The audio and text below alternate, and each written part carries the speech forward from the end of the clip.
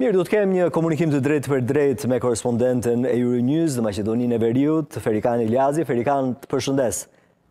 Çfarë po ndodh me zgjedhjet presidenciale në Maqedoninë e Veriut, duket se kemi, le të themi, përplasje midis shqiptarëve, me deklarata që vijnë nga qeveria e Kosovës, kundrejt kandidatëve, nëse do të bëjmë një përmbledhje? Po, e Ilir, domethënë, fushata zakonisht është e bazuar më së shumti në retorika nacionaliste, apo në atë aspektin patriotik më shumë se sa zakonisht ndodh në ndoshta në shtete tjera, ku kryefjala është ekonomia, zhvillimi, mirëqenia e qytetarëve, dhe ngjashëm sikurse edhe në ciklet e tjera zgjedhore, por sidomos në këto zgjedhje të cilat pritet që të jenë ndër më të tensionuarat për shkak se edhe janë të dyfishta, pra edhe presidenciale edhe parlamentare, por edhe për shkak se pritet që të ketë një përmbysje të pushtetit për shkak të sondazheve të cilat gjithnjë e më shumë po favorizojnë opozitën, qoftë shqiptarët, qoftë e maqedonasit, si më të fortë në terren në aspekt të numrave apo janë më të favorizuar që të fitojnë zgjedhjet dhe për këtë shkak edhe tensioni është rritur shumë më shumë dhe ka akuza dhe kundërakuza nga të dyja palët që kryesisht kanë të bëjnë me çështjen e shqiptarëve apo me pozitën e tyre në Maqedoninë e Veriut, me kushtet të cilat i kanë, por tani tema u shpërnda edhe në rajon apo edhe jashtë kufive të saj, duke përfshirë këtu edhe Kosovën, e cila në këto zgjedhje siç the edhe ti më parë është e përfaqësuar edhe nëpërmjet Vetëvendosjes në kuadër të koalicionit opozitar shqiptar dhe për këtë shkak edhe ndoshta edhe është rritur më shumë ajo retorika apo ofendimet ndërmjet vetes se kush në fakt është më patriot apo se çfarë do t'u ofrojë më shumë shqiptarëve të Maqedonisë së mhm. Veriut. Në aspektin e këto për shkak se jemi në ditën e tretë të fushatës,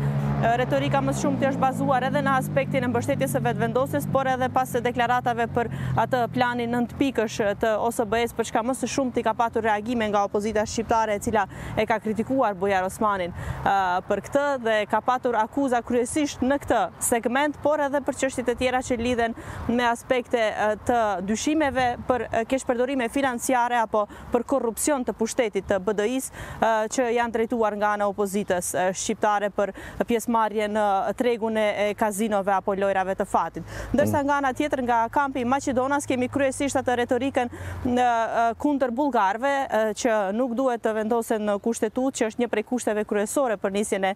praktike të negociatave me Bashkimin Evropian, dhe nga ana tjetër LSDM-në e cila kërkon që të përmbushet ky aspekti i obligimeve që i ka marrë Maqedonia e Veriut dhe që të mos ketë më shumë izolim për shtetin dhe të vazhdon rrugën e saj drejt bashkimit europian dhe strukturave të tjera ndërkombëtare. Pra, kemi dy dy blloqe apo dy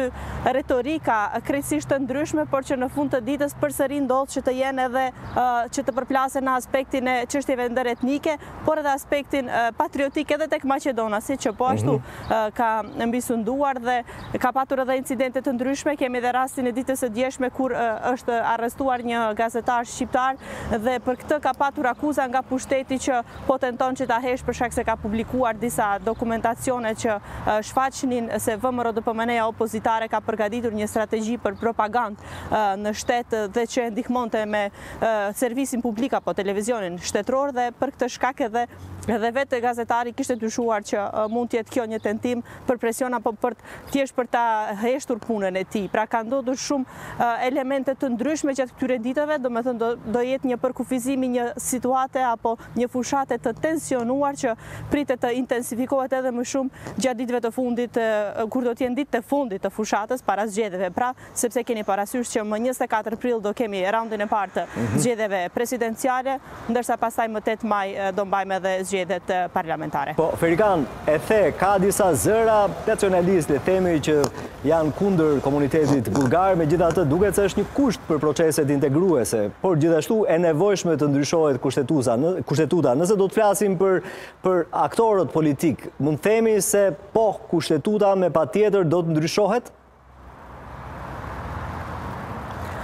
domethënë është një parakusht pa të cilin nuk mund të vazhdojmë rrugtimin në Bashkimin Europian. Dhe nëse VMRO-DPMNE vjen në pushtet, ata kanë premtuar që nuk do ta realizojnë këtë gjë dhe do kërkojnë modalitete të tjera për t'u futur në BE, edhe pse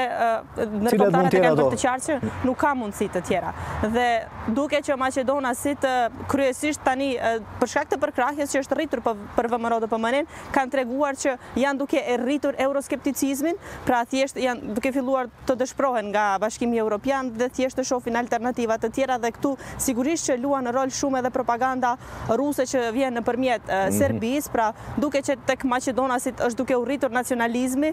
sikur ai në të kaluarën kur ishte edhe kryeministër Nikola Gruevski dhe për këtë shkak edhe është rritur simpatia për VMRO-DPMNE-në e cila ka kundërshtuar pra futjen e bullgarëve në kushtetutë duke e cilësuar atë që është një shantazh apo thjesht është një prej kërkesave të shumta që i është bërë Maqedonisë së Veriut që duhet të sakrifikojë gjuhën dhe identitetin e saj kundrejt shteteve të tjera. Pra,